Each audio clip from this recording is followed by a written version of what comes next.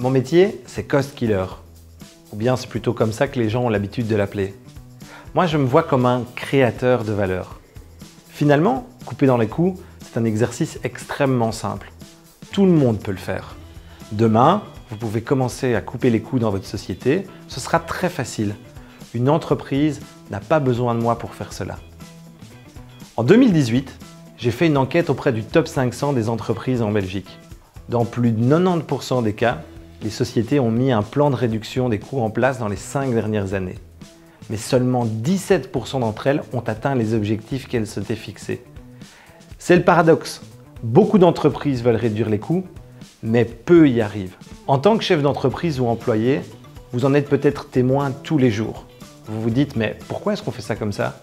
C'est totalement inefficace ou bien c'est inutile? Quel gaspillage Trouver toutes ces inefficiences, c'est le rôle du cost killer. Garder une même qualité, voire l'augmenter pour un budget inférieur, ça c'est créer de la valeur. Ceci est le premier épisode d'une série où je vais vous expliquer comment réduire vos coûts et créer de la valeur pour votre entreprise. Dans le prochain épisode, je vous explique concrètement comment démarrer un plan d'optimisation de vos coûts efficace.